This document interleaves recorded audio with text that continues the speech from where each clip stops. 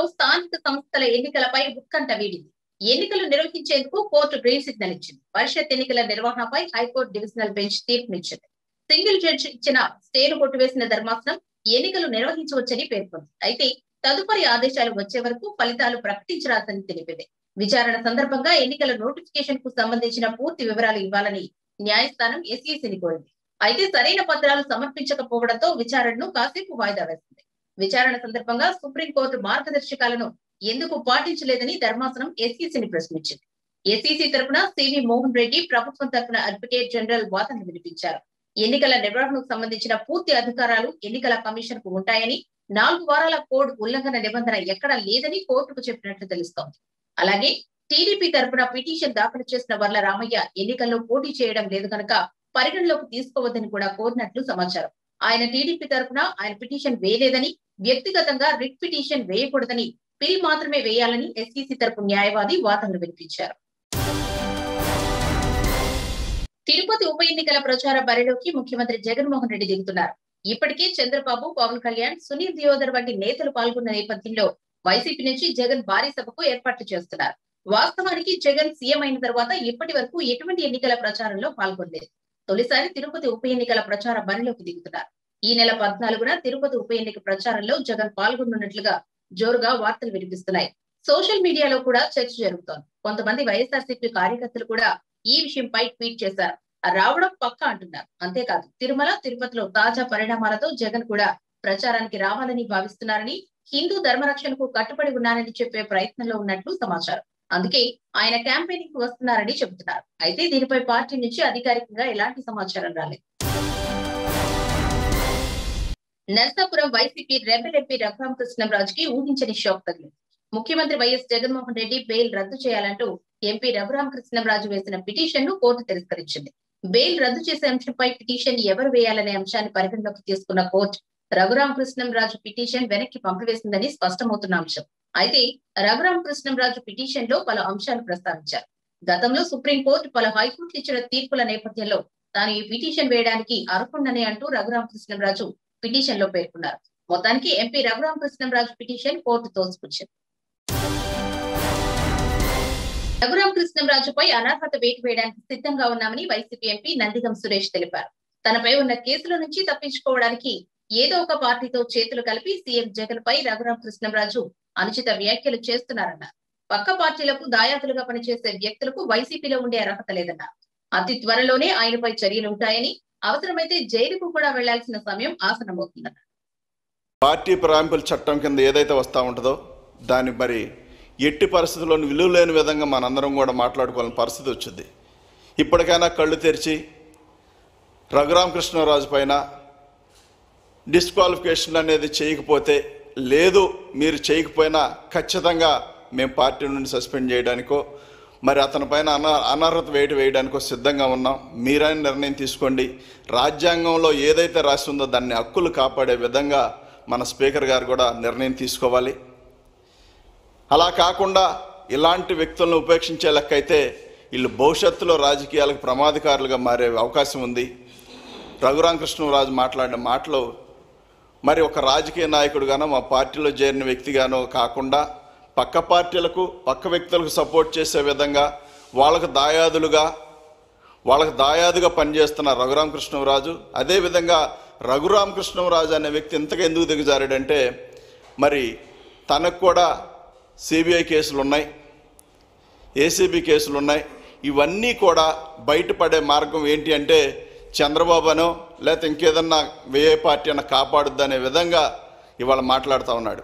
కానీ రఘురామకృష్ణరాజు తెలుసుకోవాల్సిందంటే నిన్ను పైనున్న దేవుడు కూడా క్షమించడు దేవుడు కూడా కాపాడ్డు. ఖచ్చితంగా నువ్వు బొక్కలో పోవడం కన్ఫామ్ నిన్ను లోపలేస్తారు. అందులో ఎటువంటి డౌట్ లేదు.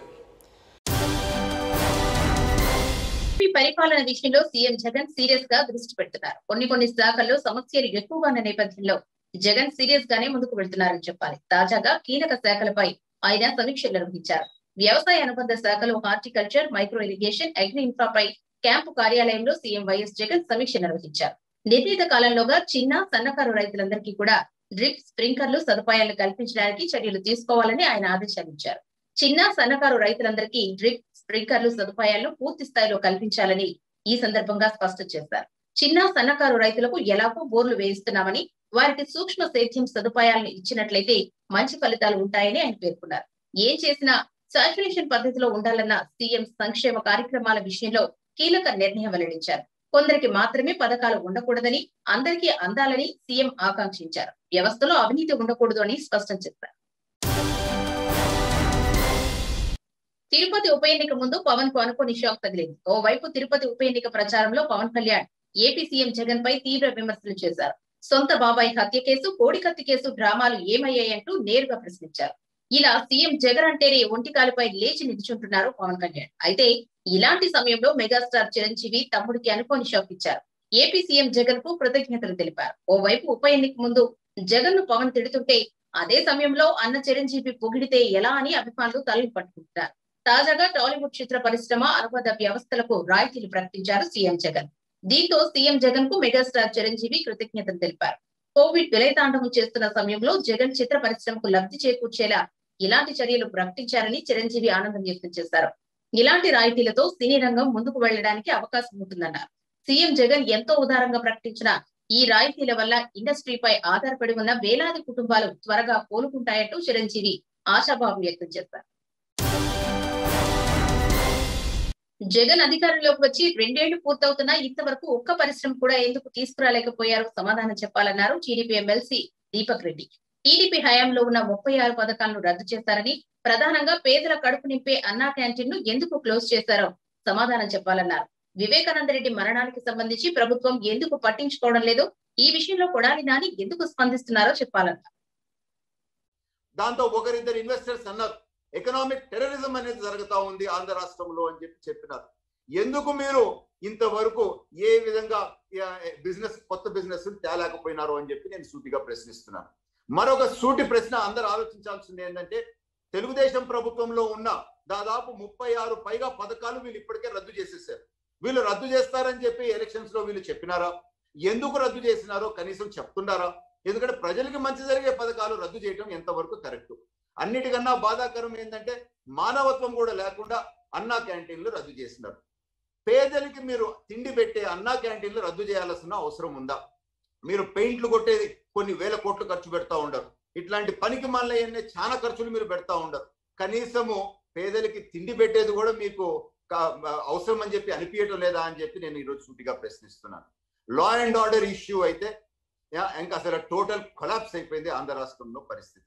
కొడాలి నాని భాషలో అంటే బీహార్ అమ్మ మొగుడు పరిస్థితి ఎప్పుడో దాటిపోయింది అని చెప్పి నేను ఈరోజు తెలుపుకుంటున్నాను. వివేకానంద రెడ్డి గారి హత్య కేసు చూడండి. ఒక మన చెల్లె ఢిల్లీ నడి రోడ్డుల్లో కూర్చొని మాకు న్యాయం జరగలేదు రెండు సంవత్సరాల నుంచి కూడా అని అంటే మనకి సిగ్గుచేటు కాదా ఆంధ్ర రాష్ట్రంలో ఉండే వాళ్ళందరికీ అని చెప్పి నేను ఈ రోజు ప్రశ్నిస్తున్నాను. దీంతో కూడా కొడాలి నాని మళ్ళా కోరుతాడు. అంటే అన్ని డిపార్ట్మెంట్లో ఆయన మంత్రి అనుకుంటాడేమో నాకైతే తెలియదు ఇది మాకు సంబంధం లేదు ఇది కేంద్ర ప్రభుత్వానికి సంబంధం అని చెప్పి ప్రెస్ మీట్లు రెండు సార్లు పెడతాం నేను చూశాను. అయ్యా కొడాలి నాని నేను నేను సూటిగా ప్రశ్నిస్తున్నాను. మీకు సంబంధం లేకపోతే కేంద్ర సిబిఐ వాళ్ళు వస్తే వాళ్ళకి కాగితాలు మీరు ఎందుకు ఇవ్వలేదు? నేను సూటి ప్రశ్న దీనికి జవాబు చెప్పండి. మీరు ఇవ్వకపోతే వాళ్ళు లోకల్ కోర్టుకు పోతే ఆ లోకల్ కోర్టు కూడా వాళ్ళకి రిలీఫ్ రాకపోతే మళ్ళా హైకోర్టుకు పోయి హైకోర్టు నుంచి ఆర్డర్ తెచ్చుకొని ఈ కాగితాలు మాకు ఇవ్వండి అని చెప్పి సిబిఐ వాళ్ళు తీసుకున్నారు. అంటే ఎన్ని నెలలు వేస్ట్ అయిపోయింది? మీరు ఎందుకు సహకరించటం లేదు? తిరుపతి ఎన్నికల ప్రచారంలో ఒక్కో నియోజకవర్గానికి ఒక్కో మంత్రిని నియమించడంపై విమర్శించారు టీడీపీ అధికార ప్రతినిధి పంచుమతి అనురాధ్ కులం పేరుతో మతం పేరుతో ఓట్లు అడుగుతున్నారని ఆరోపించారు. అవినీతి అక్రమాలు చేసే మంత్రులను ఇన్ఛార్జీలుగా నియమించడం వెనుక ఆంతర్యమేంటో తెలియదన్నారు. అక్రమ సంపాదనను పంచిపెట్టి ఓట్లు సాధించాలనుకుంటున్నారని ప్రశ్నించారు అనురాధ్ ఒక్కొక్క నియోజకవర్గానికి ఒక్కొక్క ఇన్ఛార్జ్ మినిస్టర్గా వ్యవహరించడానికి ఈ దందా రాయుళ్ళందరూ కూడా బయలుదేరారు. ఈ జాతి రత్నాలన్నీ ఒకే చోట చేరి జనాల్ని కులం పేరుతో మతం పేరుతో ఓట్లు అడుగుతున్నారంట. ఎంత దౌర్భాగ్యం పట్టిందో ఈ రాష్ట్రానికి చూడండి. పైగా వెంకటేశ్వర స్వామి కొలువు ఉండే ఏరియాలో ఎలాంటి దౌర్భాగ్యం పట్టిందో చూడండి. వెంకటగిరి విషయానికి వద్దాం. ఎర్రచందనం బొమ్మ కొయ్య. ఒక్క ఎర్రచందనం స్మగ్లర్లైనా పట్టుకున్నారా ప్రకాశం జిల్లాలో మైనింగ్ మొత్తం నీ హస్తగతం చేసుకొని మీ కొడుకు కనుసన్నల్లో నడుస్తూ అక్రమంగా డబ్బులు సంపాదిస్తూ ఆ డబ్బులు పంచడానికి వెళ్ళారా మీరు? ఈ ఈ ఫారెస్ట్ మినిస్టర్? మీరు ఓటు అడగటానికి వెళ్ళారా? ఏం హక్కు ఉంది మీకు? ఒక్క ఎర్రచందనం స్మగ్లర్నైనా మంత్రి అయినాక పట్టుకున్నారా? అదేంటి అంటే నేను ముఖ్యమంత్రి గారి బంధువుని. నేను ఏదైనా చేస్తా. మీకు అసలు ఓటు అడిగే హక్కు ఉందా ఈ రాష్ట్రానికి ఏమీ చెయ్యలేని మీరు ప్రకాశం జిల్లా మైనింగ్ని మొత్తం హస్తగతం చేసుకున్న వ్యక్తులు మీరు కొడుకుని అడ్డం పెట్టుకొని సంపాదిస్తున్న మీరు మీరు ఓట్లు అడుగుతారా? ఇకపోతే సర్వేపల్లి కరోనా బారిన పడి స్కూల్స్లో విద్యార్థులు స్కూల్స్ పరిస్థితి ఎలా ఉంది అని చెప్పి ప్రత్యక్షంగా ఒక్కసారన్నా ఇన్స్పెక్షన్ చేశారు ఆయన? ఎడ్యుకేషన్ మినిస్టర్ గారు? నాడు నేడు ప్రోగ్రామ్ అని పెట్టి అందులో ఎంత కరప్షన్ జరుగుతుందో ఒక్కసారైనా సమీక్ష చేశారా? విశాఖలో విలువైన భూములను అక్రమంగా అమ్మేసుకునేందుకు ఏపీ ప్రభుత్వం సిద్ధమవుతోందని మాజీ మంత్రి బండారు సత్యనారాయణమూర్తి ఆరోపించారు. విశాఖను అభివృద్ధి చేయాల్సింది పోయి ఇక్కడ భూములు వేరే వారికి దారాదత్తం చేస్తున్నారన్నారు. పులివెందుల అభివృద్ధి కోసం విశాఖను తాకట్టు పెడతారని ప్రశ్నించారు బండారు సత్యనారాయణ. చివరికి వేళ విశాఖ అభివృద్ధికి ఆటంకంగా విగోతం కలిగే విధంగా విశాఖలో ఉన్నటువంటి విలువైన భూముల్ని పద్నాలుగు వందల యాభై కోట్లకు ఎన్బిసిసికి ఆక్షన్ కోసం నిన్న జీవో ఇవ్వడం జరిగింది. నడుతున్న జగన్మోహన్ రెడ్డి గారిని ఎవడబ్బా సొమ్ము ఇక్కడ అమ్మి నువ్వు నువ్వు పులివెందులకో ఇడులకు ఇడుగులపైకో పట్టుకెళ్ళని ప్రయత్నిస్తున్నావు. ఆ రోజు మీ నాన్న కాపు వైఎస్ రాజశేఖర రెడ్డి గారు కాపుల భూములు అమ్మి ఆ భూములు పట్టుకెళ్ళి ఆ రోజు పులివెందుల ఇళ్ళపై డెవలప్ చేసుకున్నారు. తద్గుణంగా మా ఊడాకి మాకు ఏదైతే ట్యాక్స్ అని చెప్పి గవర్నమెంట్ ఆఫ్ ఇండియా నూట యాభై కోట్లు మాపై జరిమానా జరిగింది. మా భూములమ్మి మీరు పట్టుకెళ్ళి జరిమానా మాకు వచ్చింది. ఇది మా గతంలో మీ నాన్నగారు చేసిన ఉపకారం. ఇప్పుడు నువ్వేమో రాజధాని అని చెప్పి మా భూములు అమ్మేసి నువ్వేదో అభివృద్ధి రాష్ట్ర అభివృద్ధికి లేదా మీ ఇడిలపైకో పులివెందుల అభివృద్ధికి అని చెప్పి ఇవాళ భూములు అమ్ముతూ ఉంటే మా భవిష్యత్ దిశాపట్నం ఏమవ్వాలా? మా భవిష్యత్ దిశాపట్నం ఏమవ్వాలా? అడుగుతున్నాను. మీరు భూములు అమ్మేస్తే మాకు రేపు పొద్దున్న ఇన్స్టిట్యూషన్స్ ఎక్కడ వస్తాయి? మా వీళ్ళు లుల్లుని మీరు తీసుకెళ్ళిపోయినారు క్యాన్సిల్ చేసాం అది ప్రైవేట్ సంస్థ అన్నావు. ఇవాళ లుల్లు నిజంగా వచ్చుంటే మాకు ఉపాధి వచ్చును మాకు మాకు ప్రాపర్టీ ట్యాక్స్ వచ్చును మాకు ఇంకా ఇతర పనులు వచ్చును టూరిజం డెవలప్ అవును. మరి నువ్వు భూ దాన్ని వర్షించావు నువ్వు ప్రైవేట్కి ఇచ్చావని నువ్వు చేసే పని ఏంటి? మా భూమిని అమ్మి నువ్వు పట్టిపోతావా? పప్పు పిల్లలుగా పనిచేస్తావా? అంటే విశాఖపట్నం అభివృద్ధి అక్కర్లేదా? విశాఖపట్నానికి ఏ ఇన్స్టిట్యూషన్స్ రావక్కర్లేదా విశాఖపట్నంలో మా ఉపాధికి వచ్చే కార్యక్రమాలు అక్కర్లేదా? నీకు నిజమైన అభిమానం ఉంటే పేదవాళ్ళకి ఇల్లు కట్టొచ్చే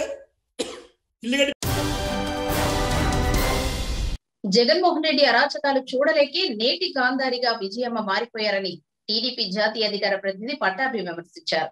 వివేకానంద మరణానికి సంబంధించి జగన్మోహన్ రెడ్డి సిట్ను ఎందుకు మార్చారో చెప్పాలన్నారు. సిబిఐ విచారణను ఎందుకు జరిపించలేదో విజయమ్మ ఎందుకు ప్రశ్నించలేదో చెప్పాలన్నారు పట్టాభి. దుర్యోధనుడి అరాచ అరాచకాలు దుర్మార్గాలు ఈ రోజున వైఎస్ విజయమ్మ గారు కూడా నేటి గాంధారిగా మారిపోయి తన కుమారుడైనటువంటి జగన్ రెడ్డి చేస్తున్నటువంటి దుర్మార్గాలు అరాచకాలు పాపం చూడలేక ఇటువంటి బహిరంగ లేఖలు రాస్తూ ఉంది ఆవిడ. నేను ఇవాళ వైఎస్ విజయమ్మ గారిని కొన్ని ప్రశ్నలు అడుగుతూ ఉన్నా. నేటి గాంధారిగా మారిపోయినటువంటి మీకు ఒకసారి సిబిఐ విచారణ కావాలని ముఖ్యమంత్రి అయిన తర్వాత ఏమో అక్కర్లేదు సిబిఐ విచారణ అని చెప్పి పిటిషన్ వెనక్కి తీసుకుంది మీ కుమారుడే కదా మీ జగన్ బాబే కదా విజయమ్మ గారు. మరి మీకు ఇవేమీ కనపడట్లేదా? ఏ రోజు అడగలేదా? అయ్యా జగన్ బాబు ఎందుకయ్యా? ఎందుకు మీరు వెనక్కి తీసుకుంటూ ఉన్నావు? మీ చిన్నానికి న్యాయం జరగాలంటే సిబిఐ విచారణ జరగాలి కదా. ఎందుకు జగన్ బాబు నువ్వు వెనక్కి తీసుకుంటున్నావు అని అడగలేకపోయారమ్మా? మీకు కనపడలేదా? ఇక రెండోది పాపం నేటి గాంధారి మన విజయమ్మ గారు పాపం కనపడట్లేదు కదండి. సునీతమ్మ గారు దాదాపు యాభై పేజీల పిటిషన్ హైకోర్టులో దాఖలు చేసినటువంటి పిటిషన్ కూడా పాపం చదవలేకపోతా ఉన్నారు ఇవాళ. నేటి గాంధారిగా మారిపోయి కనపడక చదవలేకపోతా ఉన్నారు. ఒక్కసారి ఆ కళ్ళకి కట్టినటువంటి గంతలు తీసేయండి అమ్మా. తీసేసి ఒకసారి చదవండి. సునీతమ్మ గారు హైకోర్టులో దాఖలు చేసినటువంటి పిటిషన్లో ఏమేం వాస్తవాలు ప్రస్తావించారో ఒకసారి చదవండి. మీకు పేజీ నంబర్లు కూడా చెప్తా. పేజీ నంబర్ పదిహేడులో సునీతమ్మ గారు ఏమి ప్రస్తావ ఏమి ప్రస్తావించారో ఈ రోజున మీరు చంద్రబాబు నాయుడు గారి గురించి మాట్లాడుతూ ఉన్నారు కదా. ఆవిడే రాశారు. ఆవిడ పిటిషన్ పేజీ నంబర్ పదిహేడులో. ఇవాళ వివేకానంద రెడ్డి గారి హత్య పదిహేనో తేదీ అంటే పద్నాలుగు పదిహేను పద్నాలుగు అర్ధరాత్రి పదిహేను తెల్లవారుజామున ఆ ప్రాంతాల్లో జరిగినటువంటి సందర్భంలో పదిహేను ఉదయం మార్చి పదిహేను ఉదయం వివేకానంద రెడ్డి గారు హత్య గావింపబడ్డారని తెలుసుకున్నటువంటి త- కొన్ని గంటల్లోనే ఆవిడే రాశారు. The director general of police issued orders white సోన్సో dated fifteen three two thousand nineteen. Chandrababu Naidu garu ముఖ్యమంత్రిగా ఉన్న సమయంలో కొద్ది గంటల్లోనే సిఐటిని ఏర్పాటు చేశాం. ఎవరి ఆధ్వర్యంలో? ఒక అడిషనల్ డీజీ స్థాయి అధికారి అయినటువంటి అమిత్ గార్ గారి నేతృత్వంలో సంఘటన జరిగినటువంటి కొద్ది గంటల్లోనే ఒక సిట్టును ఏర్పాటు చేశాం. ఆ రోజున ఆ ఆ విధంగా పారదర్శకంగా ఎంక్వైరీ జరగాలని చెప్పి ఒక అడిషనల్ డీజీ స్థాయి అధికారిని మేము ఏర్పాటు చేస్తే మీ జగన్ బాబు మీ కిలాడి బాబు ఏం చేశాడమ్మా విజయమ్మ గారు? ముఖ్యమంత్రి అయిన తర్వాత అది కూడా రాశారు.